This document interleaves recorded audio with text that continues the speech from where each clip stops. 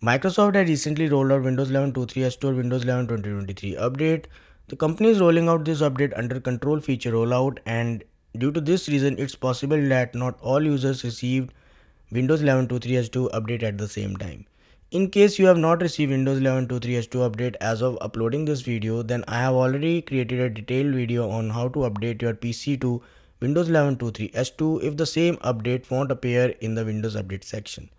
On the other hand, it is possible that Windows 11 2.3 H2 update appear for you, but when Windows Update try to download the update, it fails with error code 0x80246019. If you landed on this video, then it's highly possible that you are facing the same issue, right? Fortunately, in this video, I will try to help you in getting rid of this error code and complete the installation of Windows 11 2.3 H2. Before we move forward, we are trying to hit 10,000 subscribers on YouTube.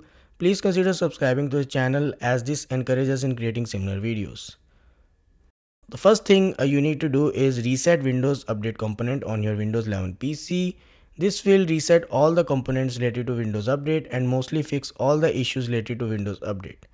I have already created a video on how to do that so check the link in the description to learn step-by-step -step instructions.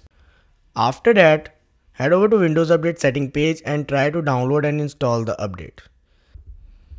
In case this fails to fix the issue, then only solution is to install the Windows 11 2.3 H2 update manually using enablement package that is Windows 11 KB50 27397. To obtain the Windows 11 KB50 27397, check the blog post in the description and from there download the .msu package for your device depending on the architecture. In my case, it's 64-bit, so I will download the x64 MSU package. After that double click to run the MSU package and follow on screen instructions. The process will take few minutes.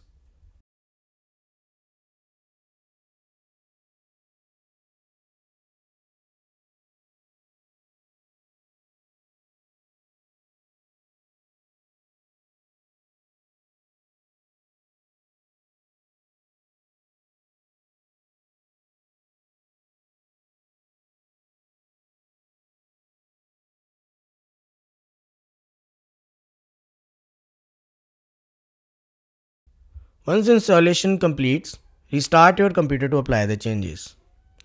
After the update completes, if you head over to about your setting page, you will notice that version is updated to 23H2.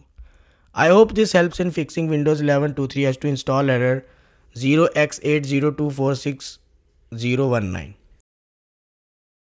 So that's all about this video. If you find this video useful, don't forget to like this video and subscribe the channel for getting notification about when we upload new videos. Also donate by clicking the thanks button below as this encourages us to create similar videos. Thanks for watching.